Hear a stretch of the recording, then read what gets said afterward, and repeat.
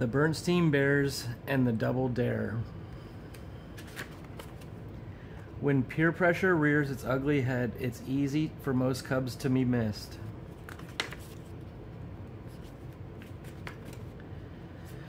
It was one of those days in bear country when everything was going so well. You just knew that any minute something was bound to go wrong. Papa Bear was off chopping wood in the forest. Mama Bear was putting in some tomato plants. Brother Bear was working on a tangled fish line.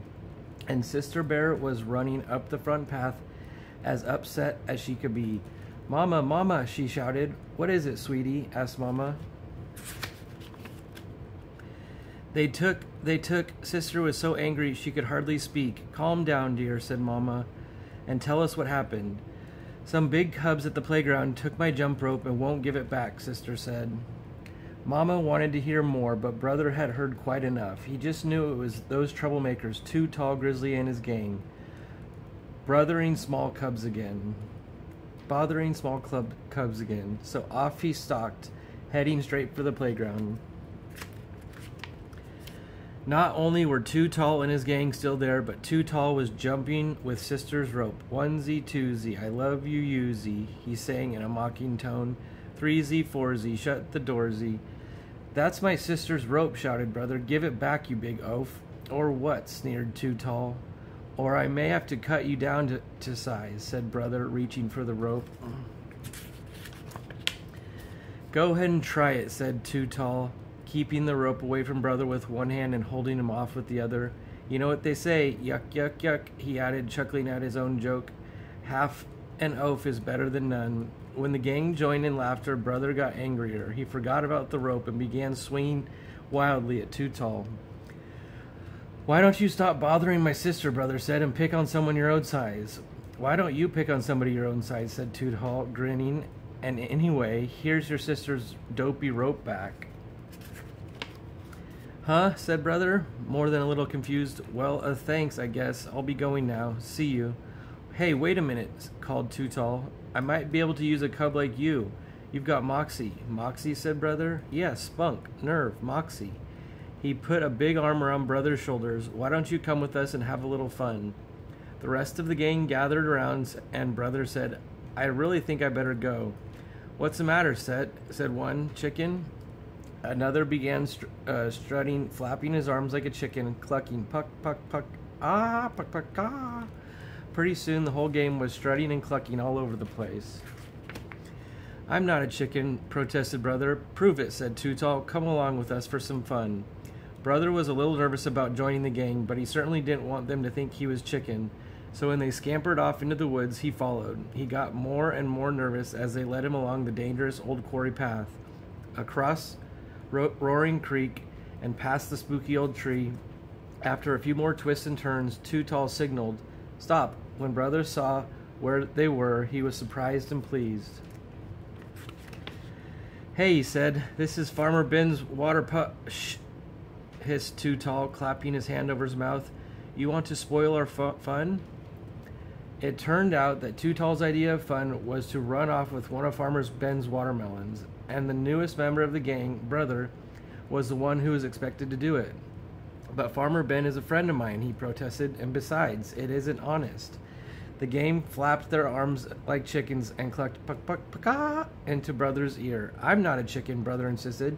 Then go ahead and take the watermelon, said Too Tall. Farmer Ben'll never miss it. Brother Bear looked all around. Ben was nowhere to be seen. It was sort of exciting being in the gang. Dare you, too tall, said Too Tall. Brother didn't move. Double dare you, said the gang. Brother still didn't move. D double dare you, said Too Tall in the gang. The D double dare did it, even ever so quietly, ever so quietly, ever so carefully. Brother Bear crept through the tall grass, through the fence, and past the no trespassing private property sign, and picked out the biggest, fattest, greenest watermelon in the patch. Then he broke off the stem, picked it up, and Gotcha, you thieving varmint! shouted a voice. Too Tall and his gang ran away, leaving Brother Bear holding the watermelon. Farmer Ben had been hiding in the cornfield. When he saw who who it was, he had by the collar. He was almost as surprised as Brother. Brother Bear, what in the world are you doing with that water watermelon stealing too tall? At first, Brother was so ashamed he couldn't answer, but then the whole story came tumbling out. How he got Sister's rope back, and how they called him chicken, and how they D double dared him.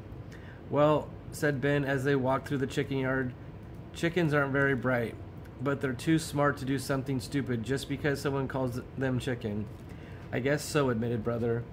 Just ahead was the meadow where Ben sheep Ben's sheep was were grazing. One of them, a large ram, took it, it into his head and start running, and run he did, straight for the highway. Your sheep are heading for the highway, Ben, cried Brother. Don't worry, said Ben. Sheep, my old sheepdog will take care of them. Sheep raced ahead and cut the sheep off before they got there.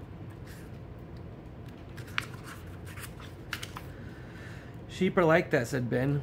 Follow a leader anywhere. Off a cliff, it's what the leader decides, and some folks are like that too. Follow a leader wherever he goes, across the highway, over a cliff, to the edge of my, my watermelon patch. He looked at Brother, and Brother knew exactly what he was talking about. And speaking of watermelon, how about having a nice, sweet, juicy slice with me? Could we? asked Brother. Sure, said Ben, cutting a big center slice in half. And remember, mmm, this is a good one. Being part of a group is okay, and maybe even having a leader. But you always have to think of yourself, especially about how important things like what's right and wrong and what's safe and what's dangerous. I'll remember, Ben, said Brother, and thanks for the watermelon. Brother decided to head home by way of the highway, and who was waiting around in the bend? The Too Tall gang. What happened? asked Too Tall. Nothing much, answered Brother. We had a little talk and some watermelon. Hey, cool, said Too Tall. Well, come on, we're going over to Wider Bruins to have a little more fun. No possible way, said Brother. What's the matter? sneered Too Tall. Chicken? Buck, buck, buck, ah, clucked the gang. Ba, ba, sh- ba, sheep, answered Brother. Why don't you try thinking for yourselves for a change? Buck, buck, buck, they shouted. Ba, ba, ba, sheep, Brother shouted back. But the cubs' shouting interrupted another noise the sound of somebody crashing out of the woods. He looked a lot like Too Tall, but was much bigger. It was Too Tall's Papa Two Ton Grizzly. What what's up, Pop? asked Too Tall. What's up, growled Two Ton. It's a little phone call I had from Farmer Ben about you. And he added, as he turned to the gang, if I hear about any more shenanigans, all of your parents are going to hear from me. Now get on home. The gang got home as fast as their legs could carry them. Hi, said brother to sister when he got back to the treehouse. Here's your jump rope. Oh, thank you, she said. How did you ever get it back from the awful Too Tall and his gang? Brother shrugged. I asked them for it, and they gave it back. Hmm, said Mama. You asked them for it, and they gave it back just like that? Well, said Brother, going back to his tangled fishing line, not exactly just like that.